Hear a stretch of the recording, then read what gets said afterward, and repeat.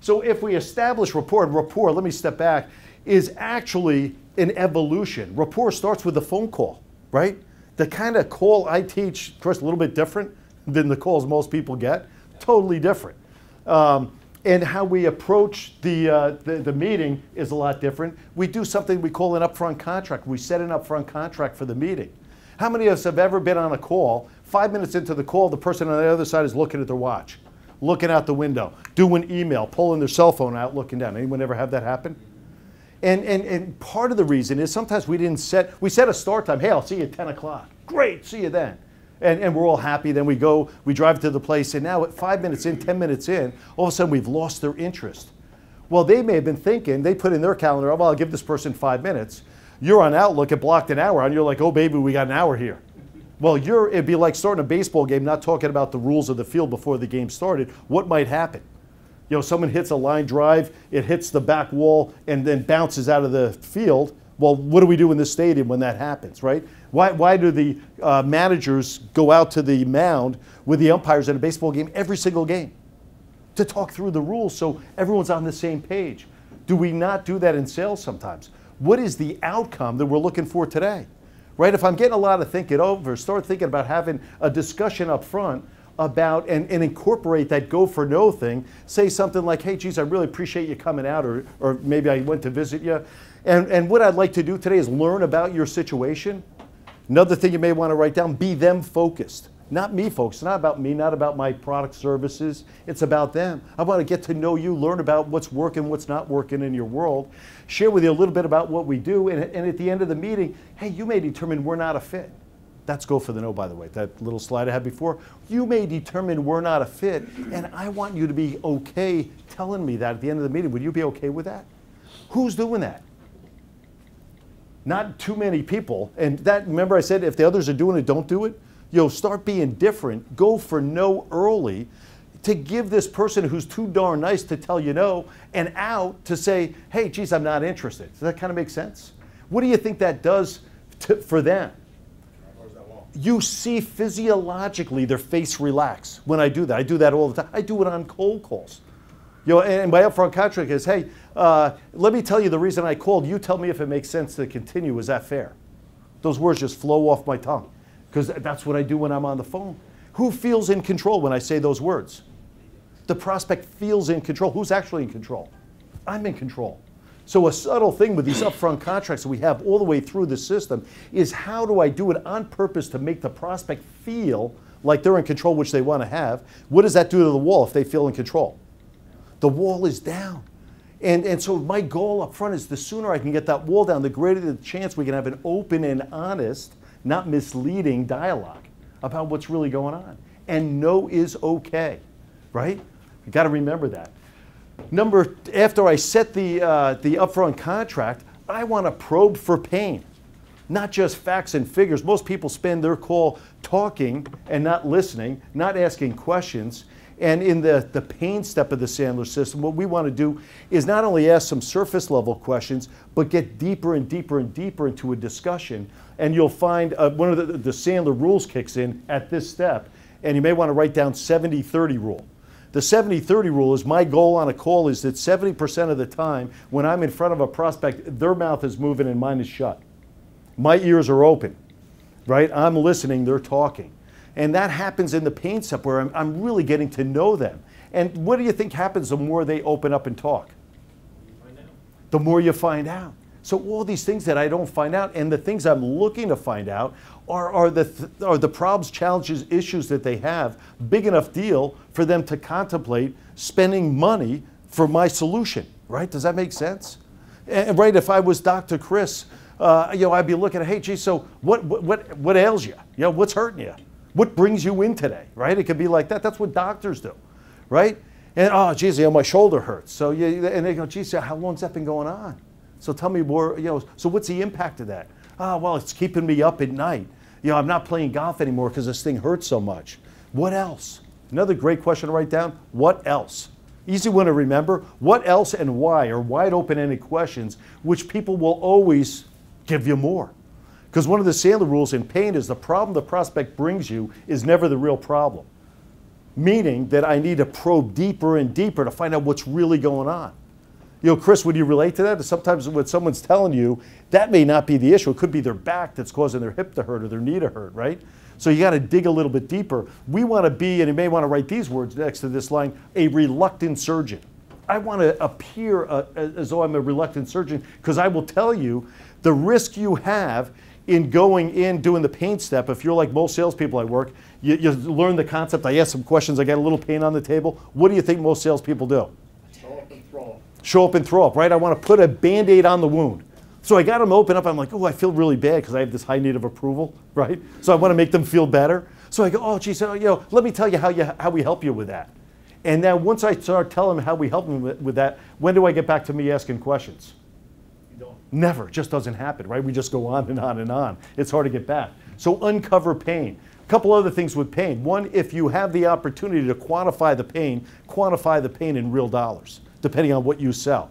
You know, what is the gap between where they are and where they want to be? Right? If I was a financial planner, I'd say, geez, how much, how much uh, uh, you know, do you think you need to retire and when would you like to retire? And how much do you have today? You can calculate that, right? And you're like, oh my God, you weren't serious, right? You didn't really want to retire when you're 65, did you?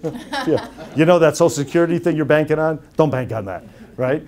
Um, so, you know, you start to get pain. Now, the next thing, if you're able to quantify the pain, go for personal pain. And what that would sound like, I'll give you a good one.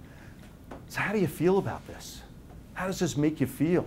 right? It could be a security system. Someone's neighbor's house was robbed, right? That's pain that they can feel. So, how would you feel if that happened here? Is this a big enough deal? It's another good question to write down. Is this a big enough deal for you to ser- seriously contemplate spending the money it's going to take to fix this? And go for no? I'm getting a feeling if they hesitate to answer, because sometimes they do, your antidote to that is, geez, you know, in a nurturing way, I'm getting the feeling that you're really just not that serious about this. I told them they could tell me no up front. I dug some pain. And sometimes I'll even ask, geez, on a scale of one to 10, let me ask you, how pressing is this for you? Is this a big deal or a little deal? Or I'll say, geez, I'm getting the feeling this isn't a big deal. That's the coolest question in the world, by the way. Because what happens from that question, their answer, who's selling who? They're selling me on their pain. So go the opposite direction. It's proven in psychology. I, I could do two hours on that. Uh, next, assuming I got pain on the table and I quantified the pain, got some emotion, right? Because what stops people from taking action is it's just not compelling enough, right? You know, I, I had an insurance person call me, go, oh, geez, you know, let me look at your policy. And I looked at this and I'm like, so it's going to save me $10 a year. Like the headache of filling the paperwork out. I go, I'm really not interested in doing it. You know, I appreciate you coming out, but, you know, I, I really don't care. You know, so if it isn't a big enough deal, don't fake yourself out to think that they're going to change, change vendors. The investment discussion comes after pain. Why do you think we do that? Why would we have the investment discussion after pain? I'll give you the answer. The more pain you uncover, the greater the willingness is to spend money to fix it. So if I spend my whole time talking and not digging, I don't even know what the pain is. If they, eh, you know, I, I, I always like to picture a painometer on the forehead of my prospect.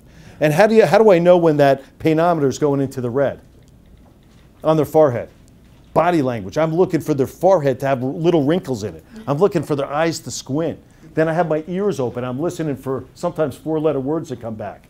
I won't mention any of those, but I've had discussions. I know that they're in an emotional state at that point. And the willingness budget step is do you think it's more about willingness or ability to spend? Which is more important? Willingness. Tastes great, less filling. I don't. Um, it's it's uh, willingness, right? The government is the best example in the world, right? Do they have the ability to spend the billions, trillions of dollars we spend each year, or the willingness? We elect people who have willingness to spend money we don't have. That's what we do. So, how many households spend money that they really can't afford? So, they have car loans, they have education loans, they have mortgages, they have home equity loans, right? Bills up the, uh, you know, up to their ears, and yet they have all this cool stuff, right? So, people spend money that they don't have. Don't let that get in the way, right? So, don't, you know, we have to uncover the willingness. The willingness is linked to the pain. Neat thing to remember. Third, if I got all that on the table, let me ask you this, even before I go to, to the, uh, I'm almost done with this. Um, with the uh, budget step, how many of us after an initial meeting with a prospect and we find out what their needs are and we find out what's going on and they go, I tell you what, why don't you throw a proposal together for me? Oh, great, that's good. I run back to the office. Now I'm working on the proposal. I'm looking at the numbers and I start negotiating with myself.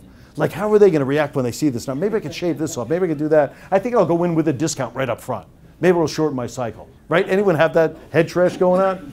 Well, what that tells me, if that's going on, is you did not have an investment step in your. Uh, it means I didn't have a real human-to-human conversation about what it might cost to do this, and to test their willingness to spend that kind of money to fix their pain. It's not about me. Write these words down. It's all about them. It's not about me. Stop thinking about my sale. It's all about them. So, assuming I figured out and I, and I teach approaches and techniques to get the real budget on the table to find out, because when I, if I ask, hey, so what's your budget for this? What do most people say? Don't know. Haven't really thought about it. The wall is up, right? So, how do we engage in that conversation in a different way than saying, geez, you know, do you have budget for that? Um, next, decision process. How many of us now we do the proposal, we come back and they say, hey, this looks great. You gave me a lot to think about. Um, and then I say, well, geez, you know, so would you like to get going with this? And they go, whoa, whoa, whoa, not so fast, Charlie, right? You know, then all of a sudden the wall goes up. And they say, geez, you know, I, I, maybe I forgot to tell you, but we have to bring this up to the uh, executive board. Or, you know what, this really gave us a lot of food for thought. I think we'll set up a committee and, and, and we'll really start to investigate it. And I haven't really looked at any other alternatives yet. So I really need to do my due diligence. You start getting that stuff. The reason you're getting that after you've delivered your proposal, you notice I haven't done a proposal yet. That's a key thing, hopefully, to notice. It means that I've done a proposal before I truly understood the decision process. Perfect world, when would they want to start the membership with the, uh, with the club? Perfect world, when would they want to start in TAB? Um, how are you going to go about making that decision? What could, who could veto that? And you go, geez, who, who's going to make that decision? They're like, me, I make the decisions. How many times do you find out that person doesn't make the decision? So we got to have another question. It's always about the next question. Good question to leave with. Who could veto your decision if you decided you really wanted to do this? Who in the organization could veto your decision? You're going to find out something different. So decision process, do I know the who, the what, the where, the when, the why, and the how of the decision process? I, I, in that step alone, I've come up with 58 different questions just in the uh, decision step in the Sandler cycle. Not that I would ever ask all 58, but I like to challenge myself sometimes, coming up with how many I can come up with. 58. Um, so once I've uncovered these three things, I've either qualified or disqualified the deal. No pain, no sale, no budget, no sale, no decision, no sale, right? Because you're going to find that stuff out later. Figure it out sooner. Um, so if I've done that, only then do I jump to the next step, which is the uh, solution presentation. And by solution presentation, what I'm doing is I'm presenting back, and the Sandler rule is you can only present to the pains you've uncovered. So what pressure does that put on me as a salesperson? I better uncover some pain or gonna have nothing I can show, right? So a solution presentation versus a generic presentation should be specific to the pain that you uncovered with them. And a trick there is review their pain before you go into the solution, right? Bring them back to their pain before you get into the solution. And assuming I do that, the close is like nothing. They're like, wow, this guy understands my world. This guy really listened. These numbers didn't shock me, right? I, I never shock anyone with numbers because they know what the numbers are before I got there, right? I understood the decision process, so all the decision makers are in the room. I also have an upfront contract before the presentation about what might happen next, so there's no pressure when I get there. If I don't talk about what's going to happen next, it's going to put pressure on me and put pressure on them. So I diffuse the pressure through the use of an upfront contract before the presentation, if you follow what I'm saying. Say now, you know, what could, what could be the possible outcome? You may look at this and hate the proposal decide not to do it. And that's okay if that's the case, I want you to tell me that. Or, secondly, you may decide, hey, this is the best thing I've ever seen. It's right in alignment with what I was hoping for. What do I need to sign something? Most of my closes are, do I need to sign something to get started? You know, it's really not a high pressure thing. And then lastly, and I'll leave you with this, is the post-sell step. How many people here, just quick question, have ever sold a deal and two days later you get the proverbial call, hey, uh, are you sitting down? Uh, yeah, th- yeah, this is Chip. Yeah, I signed your contract last week. Yeah, you know, I've had second thoughts about this. You know, I talked with my wife, and you know, we've decided. You know, we actually put a stop order on the check. Anyone ever have that happen to them in sales? I, I heard some uh, reverberations. If if you have, I have an antidote to that and, and deal with that up front. Deal with buyer's remorse before you leave. I was taught the wrong way. When you get the contract sold, get out quick because all you can do is mess it up. Right? Uh, That's what my boss taught me. I was 22 years old. I probably could mess it up. But he never taught me what to do. So it, d- don't fix something that ain't broke. So if it doesn't happen to you, don't worry about this part of the step. But if you ever have had it happen, talk them through. Hey, you know, uh, uh, and you could be concerned that your competitor's going to come in, drop their price, and convince them to go a different direction. In the insurance world, I've seen this happen a lot right? Now they go back to the guy they've had insurance for 15 years. They say, geez, you know, I decided to go with her. This really looks good. I kind of like her. We want to do it. Oh, you got to be kidding me.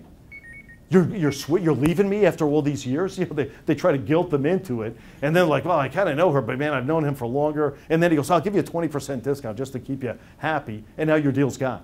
So a post-sale step would be talking that through the buyer before, they, uh, uh, before you leave the room. Only, but don't fix it if it ain't broke.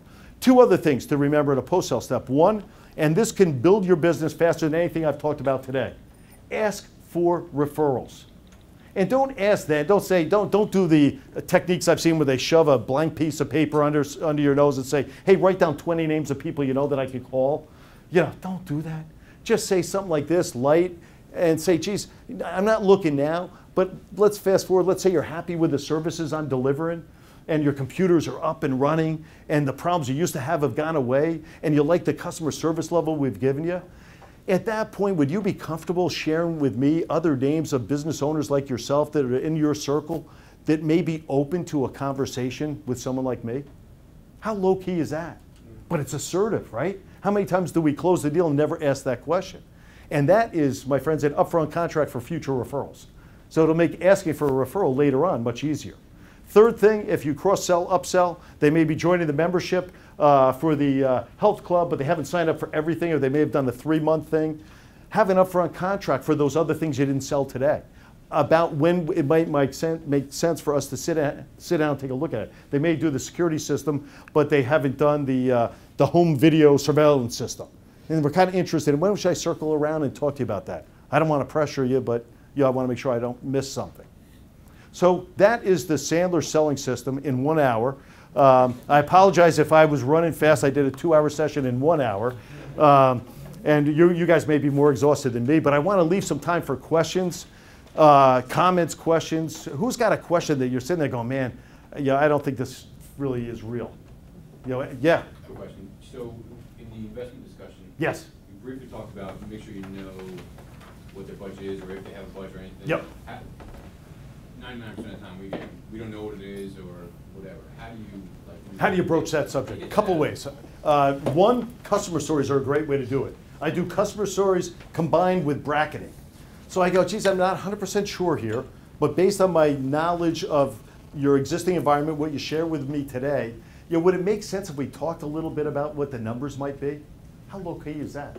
You know, is that trusted advisor? Would it make sense if we spent a little bit of time talking about what it might cost if you were to do something like this? What do you think they say? Yes, they usually say yes. Yeah, it probably makes sense to talk about this. If I go, so what's your budget for this? what do you think they say? It's a little bit different. You see the subtle difference? And then I may say, well, geez, you know, I- I'm guessing you probably don't have a line item in your budget for sales training, right? And they always say, you're absolutely right, we have no line item for sales training. Didn't think so, not much different than most people I talk to. But while we're talking about it, you know, I had another client like you, they had five sales guys, and we did this and this and this, and I can't remember the numbers exactly, but it cost about this. You know, somewhere between this and that. Should we even continue this conversation if that were the case?